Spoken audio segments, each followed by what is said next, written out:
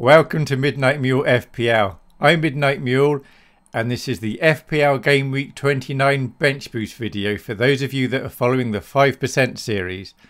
And this is another one of those videos that took me quite a long time to work out and put together because I have to allow for so many permutations.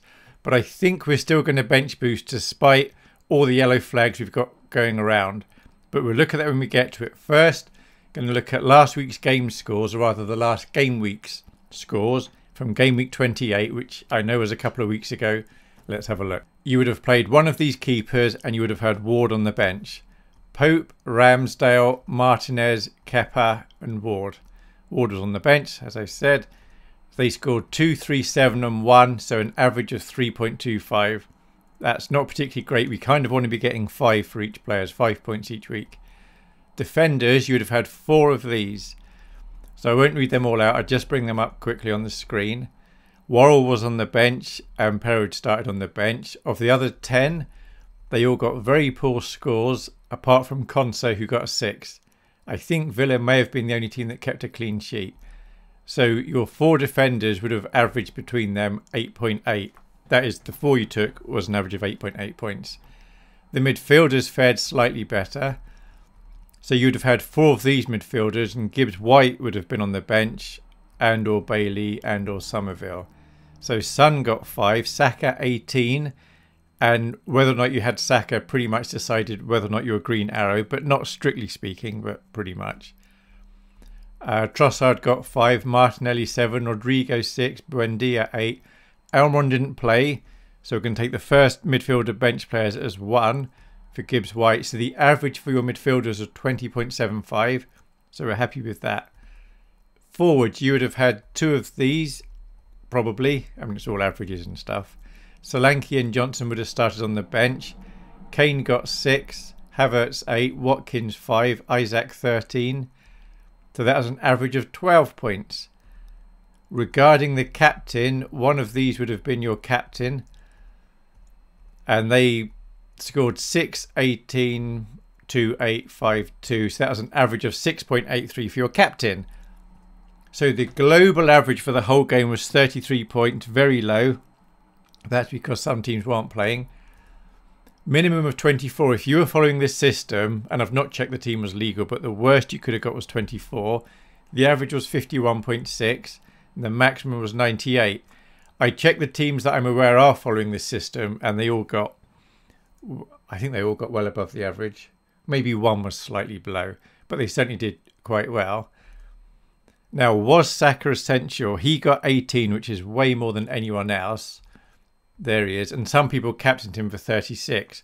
So if you had Saka, you almost certainly got a green arrow. If you didn't have Saka, you almost certainly got a red arrow. And if you captained him, you definitely got a green arrow. However, I just want to show you this team by Sarah Jane celebrating victory. I know I show this team quite a lot, but it's because I know she's been following this from the start.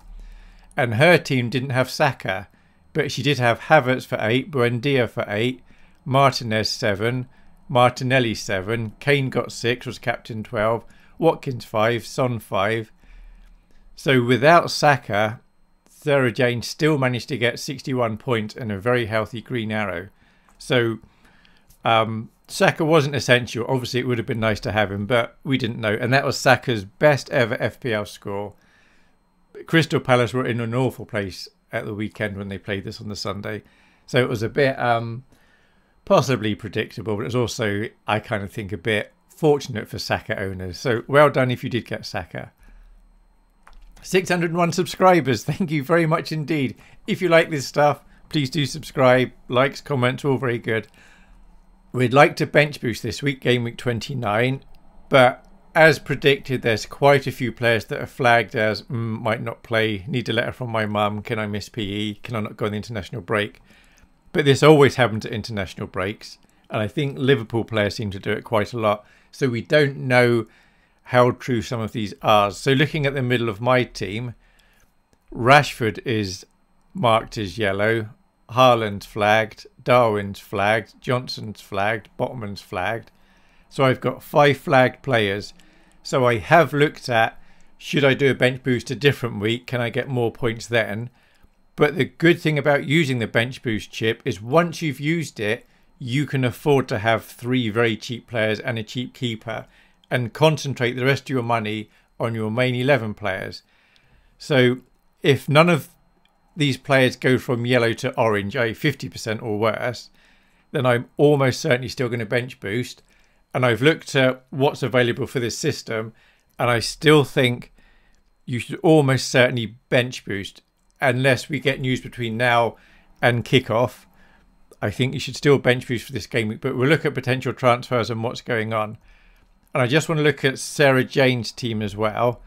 So she's got, and this is her team from two weeks ago. So of course it may change. So these points are two weeks old. But in her current team, she's got Rashford who's flagged, Darwin who's flagged, Haaland who's flagged, Ward who is almost certainly not playing, James who's flagged, and Johnson who's flagged. So there's always a danger. You bench boost, which means your bench plays. So you've got 15 players, but then you might have five players that don't even play. So you end up with only 10 players. So the bench boost is wasted. So there is a gamble there. So if you're really risk averse, you may want to avoid the bench boost. But like I said, in a way, it's good to get the bench boost out of the way. So maybe don't bench boost this week if you need to make more than three transfers to have 15 players you're happy with. But like I said, I've got Haaland flagged, happy with him. I've got Darwin flagged, probably happy with him. Rashford flagged. It's like, it's not a big deal because it was an international break. And the deadline's actually Saturday morning. Though I know some of you, because you're busy, you need to do this before Saturday, and that's fine. What I would say is if a player's yellow, just assume they're going to play. If they're flagged as uh, 75%. So probably going to be all right. It is a gamble, but we'll see what happens. So in game week 32, we're on 29, so it's a few game weeks away. There are four teams we now know are blanking because of the FA Cup semi-finals. This is Brighton, Chelsea, Man City and Man United. So as of this game week, try to have no more than seven players from these four teams in total. There's an asterisk by the seven because if you've got a keeper from one of these and it'd be Chelsea or Man United, that's fine as long as you've not got a keeper from both of these. So including a Chelsea or Man United keeper, you could have eight. The reason for seven, my team's got seven, but I've got game week 29, 30, 31, 32. That's four transfers. I can get the seven down to three. I can potentially still get 11 players out for game week 32. And I've worked out my likely moves if there's no injuries or suspensions. And I kind of know what I'm going to do, probably. But this is all guidelines. You just do whatever you want. So these are the goalkeepers available in the system at the moment. Uh, we've got Man United, Brentford, Arsenal, Newcastle, Chelsea, and Leicester. Pope for Newcastle is flagged 75% chance of playing. I would assume he's going to play. Ward is looks like he's dropped. We don't know if he's going to be dropped for one game, two games, maybe the whole season. But he's looking a bit dodgy. So if you've got Ward and you've still got your bench boost and you're using it this week, definitely get rid of Ward. However, you need to be aware that De Gea's blanking in game week 32 and Kepa's blanking in game week 32. So when you replace Ward, you don't want to end up having both De Gea and Kepa, but any other combination of the others is okay. So for game week 29 transfer, if you're bench boosting and you have Ward, as much as we don't like transferring out bench uh, keepers, get rid of Ward because you want to have two playing keepers. De Gea is a very good option as long as you're aware he's blanking in game week 32. So if you have Kepa, don't buy De Gea. You could get Raya, he's 4.8. Both of these keepers you need a bit more money to get. But Ray is not great after this week, but he's okay. And of the keepers we've got in the system, he's all right. Another option is Meslier, 4.5. We're introducing him from Leeds. He's away to Arsenal this week, which is difficult, but then he has got a home game where he's got a reasonable chance of getting a clean sheet. And then he's cheap and he can sit on your bench and he does play in game week 32. You can, of course, choose one of the other keepers already in the system, which would be Pope or Ramsdale. Both of those are okay. Pope does have a double game week this week, and he plays in game week 32, and he will have another double, so Pope is okay. But these are the suggestions I'm putting up potentially for Ward. of your defenders, so uh, you will have two or three of these defenders. Chilwell blanks in game week 32. I'm showing you this in case you want to make other transfers for fun or you're bored of some of your players. Just be aware that Chilwell blanks. James is 75% fit and he blanks in game week 32. What I'd say of James in the injury, of all the flagged players, he's the one I'd be least surprised if he actually misses the game. I don't have James, but if I did, I might be tempted to move him out. But the trouble is, if he does play both games, he could get a very good score. So again, it's all part of this gamble thing, how much you're willing to gamble. If I had lots of players not playing in game week 32 and I knew I had to make lots of transfers, I may keep him. But if I only had maybe three or four players not playing game week 32, then I might be more inclined to transfer him out because I could afford to. If you do transfer him out, definitely be careful who you bring in regarding the game week 32 blank.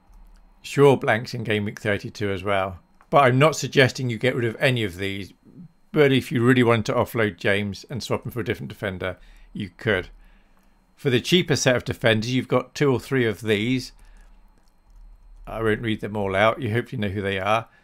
But be aware that Estupiñán blanks in game week 32. He's fit and fine at the moment, but he has just flown back from the southern hemisphere. He may miss some of the first game of the double, but he may not. We don't know. He's in my team. I intend to keep him for this week at least anyway. Botman's marked as 75% fit, but I'm going to assume he is fit really. Fofana's marked as not fit, and he blanks in game week 32. Worrall didn't play last game week. I'm nervous about holding Worrall, so I think it's worth offloading Worrall so if you have Worrall and you're going to bench boost this game week, you want to get rid of him. Fofana, if you've got him because he's marked as injured, he could be a luxury transfer, but only if you're bench boosting. But equally, it's absolutely fine to keep hold of Fofana. So he's like, mm, maybe to get rid of, but definitely get rid of Worrall. And if you've got Worrall and Ward, that's already two transfers. If you can get rid of those without having to sell somebody else for the money, then I wouldn't do further transfers. But if you need to get rid of Worrall and Ward and somebody else to fund the players you're getting in, although that's going to be a hit of minus eight, if you're bench boosting, I think it's worth doing. So if you're offloading one or both of those, the best options would be Estupiñán, but be aware he doesn't play game week 32. Otherwise, get Aguerd from West Ham for 4.8. Midfielders, you will have two or three of these. None of these are an issue, as in you need to get rid of them. But be aware, Fernandes blanks in 32. Rashford's marked as injured. 75% chance of playing, and he blanks in game week 32. The second set of midfielders, you have two or three of these. Again, I won't bother reading them all out. And if you're going to be changing any of your... You don't need to change any of these, but if you decide to, just for fun, just be aware the three Brighton midfielders blank in game week 32. Regarding the forwards, we have no major issues, but Johnson is only 75%, so you may want to mess about and get rid of him. So, so far we've looked at if you have Ward or Worrall and you're bench boosting, and I suggest you probably should do, then you need to move those two on. But if you want to just freshen up your team a bit, or there's other players you're nervous about, then these are other players I'm going to show you now who are in our system and I think are definitely worth considering. But before you do, just remember Brighton, Chelsea, Man City, Man United, they're not playing in game week 32. So don't have more than seven from those four teams in total. So Shaw, he's could keep some clean sheets. Man United have some very nice games coming up. Chilwell, Fernandes, Maddison, March, Mitoma, Mac Allister, any of those Brighton midfielders and Isak. They're all worth bringing in. They're all popular for bringing in. But be aware that Shaw blanks in game week 32, as does Chilwell, as does Fernandes, as does the Brighton midfielders. And Maddison, the trouble with Maddison, Maddison's brilliant. He's a little bit prone to injury, it seems. And Leicester are awful this season at the moment. And I think they've got a reasonable chance of getting relegated. Now, relegated sides often do have one or more players that score well. But I would be slightly nervous of Maddison, but he's very good this game week. And if you want to get him, and play him for several weeks, that's fine. He may do very well. Isak's done well recently and he's a cheap striker. So if you're needing to release money, Isak might be somebody you're looking to go for. Regarding the captaincy, I'm going to show you some players now, approximately in the order that I'd probably favour them. But any of these are fine for captain and then any of them for vice captain.